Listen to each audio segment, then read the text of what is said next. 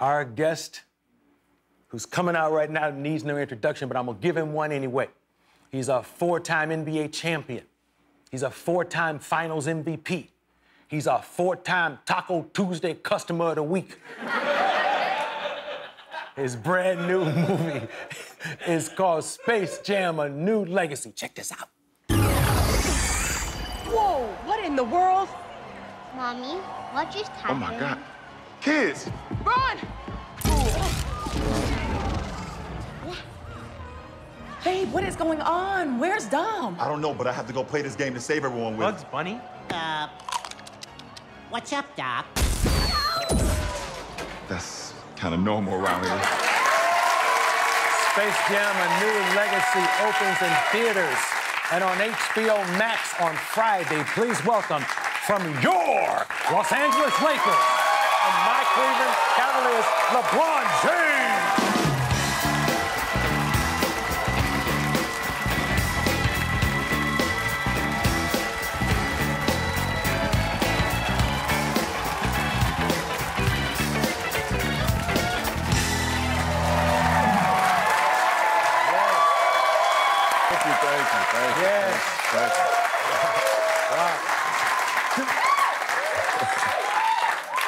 You've been famous for so long at such a young age. Do you ever get sick of it? I have a friend who, before you came here, when you were a Cavalier, you came in a restaurant after a Clipper game, and the LA people stood up and clapped.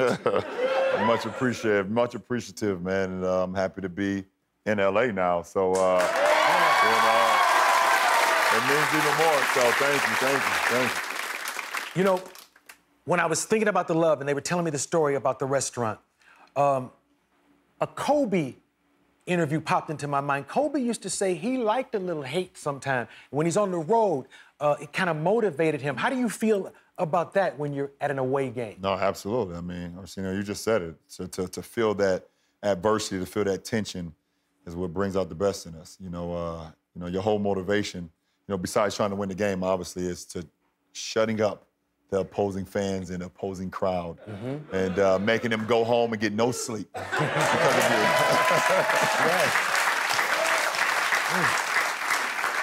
you. Are you watching basketball right now? I am. Yeah. I am. Uh, I have a horse in a race, and he goes by the name of Chris Paul. So uh, I have been watching. Yes, that is uh, that is my brother, and uh, we've been we've known each other since uh, my junior year in high school. Um, his sophomore year, we actually met for the first time when we were in eighth grade. We played in the same AAU national basketball tournament in Orlando, Florida, and then we officially met uh, my junior year, his sophomore year, and we've been, I mean, we've been friends ever since. Yeah, and, and we hear and read that you all are friends, but it's deeper than I realized. Um, he was at the hospital for the birth of one of your children. Yeah, he was at the hospital for the birth of my second child, my second son, Bryce Maximus, and it happened to be during the NBA Finals then. Wow, yeah. You know, so uh, you know he's the godfather of Bryce, and uh, Bryce came out the night before, and then I went on to proceed to get my ass kicked by the Spurs the next day. So uh, there was no sleep for me then. yes. I was very upset when the NBA, I don't know the technicalities, but they kind of blocked Yeah, Chris like, Paul like coming vetoed. here. They like vetoed the, the trade to come. I, I've never seen that Yeah. uh, in NBA history, and uh, I was excited as heck for CP. Mm-hmm. I thought the Lakers uh, faithful was excited to get him, and then uh, you know they just they vetoed it. But you know it's working out for him right now. I tell you, some years Yeah. later, it's working out for him. Could it still happen? And uh, would you like it to still happen? oh, oh, wait, wait, wait, wait. Oh, no, no. I know why you're laughing, because that would be tampering or something, right? If I talk about that? Well, you, I th- you you don't know the word, or you know the Oh, word. Like- yeah. yeah, I'm- like, I know, I know it, but this card. Uh, I know you probably can't talk about that. Of course, you'd love to play with your friend. We'd love it. yeah, absolutely, absolutely, absolutely. Let me think of a question you can answer. You know what? Uh, I remember as a fan um, seeing the Sports Illustrated when you were a young man. You were on the cover. As young as you were, you have a son who's younger than you, who's now on the cover of Sports Illustrated, but it's not about basketball. No, it's not about basketball. Look at that. Yeah, uh, yeah, my my son on there with uh, you know the football player in Arizona as well, as well, Kyler Murray, and, and the whole FaZe clan is what they call him. And Bronny plays video games uh, all day, and uh, I mean he loves basketball. He plays basketball. Loves being a big brother to his big brother, to his little brother and sister. But uh, video games is his thing, and uh, he, he's excited about it. I tried to hold the secret as long as I could, because when he got on the cover, I was like, you know, I was younger than you, right? And then he did some research. All these, every, all these kids got all these phones, which we didn't have when I was growing up like that. Absolutely. Yes. He was like, Dad, no, you were actually uh, six months older than me, and uh, now I'm the youngest guy in the household on Sports Illustrated.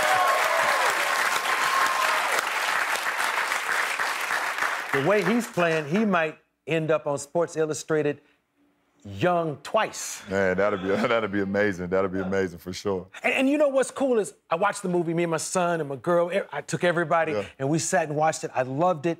You're really good. Don Cheadle is good in this. Man. Man. You want Oh. to talk about Don? Because he did. I, I'm watching like, damn, he's so talented. Oh, he's so talented. It, it was such an honor then just being on set with him, seeing his cadence, seeing his presence, you know, seeing how he worked with other people on, on, on set. And I mean, he's a beast. And I, I love that guy. He's a great guy, man. He's the LeBron James of the silver screen. Yeah, I love it. he's, there. he's good. He man. always delivers, man. always delivers. Always. I promise, Guillermo. He's looking at me. I, I- he's, he's distracting me. Uh,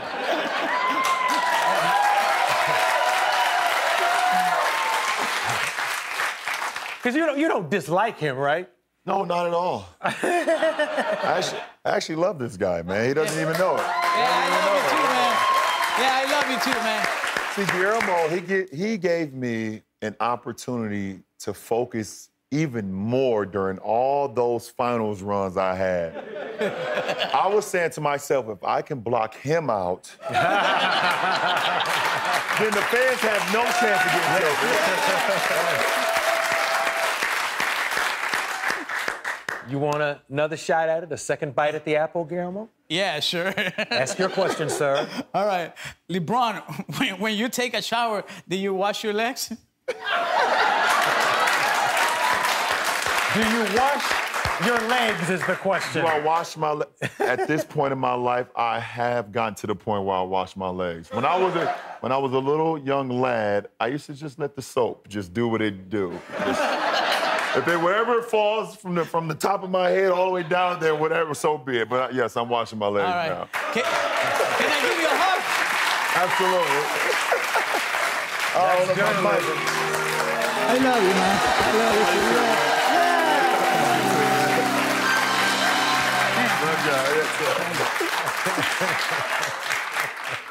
I know the feeling. you know, because I got permission to wait around on a Christmas Day game. Before you were a Laker, you were a Cav. Yeah. Uh, I got permission to wait around, and, and I wanted my son. You know how sometimes your kids will want to meet somebody? This is a man I wanted my kid to meet. You, you know what I mean? Yeah. Because you're such an incredible man in the way you've balanced on the floor, off the floor, with class and dignity. It just makes me proud. And I want my I wanted my kid to shake your hand. And you know what? I know your secret weapon. Because you had to do press that day. Y'all won here in LA. I talked to your mother for an hour. No? That's the secret weapon, dog. Yes, it is. Yes, it absolutely is. Yes. She was so nice to me, and, and- and she's amazing. You've always been a big kid. Did she ever spank you? You ever get spankings? Yes, I've, I've only had a couple. And I think the last spanking started my growth spurt. Mm-hmm. I got spanked so hard when I woke up, I was six inches taller. And then my mom was like, you know what? No more spankings going on in this house. oh, gosh. I know we're going to go outside in a moment, but just take a couple seconds to tell them about the movie. Space Jam: A New Legacy. First of all, the first one came out 25 years ago with the great Michael Jordan. Uh, someone who inspired me uh, to be as great as I can be on and off the floor. Um, and 25 years later, I, I am now the lead role for Space Jam: A New Legacy, and